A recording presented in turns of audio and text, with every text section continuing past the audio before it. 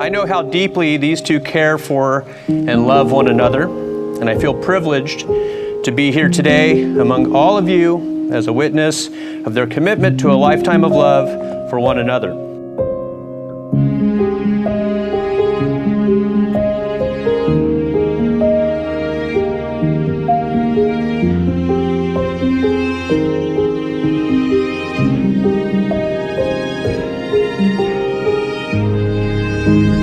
Stare at you under moonlight.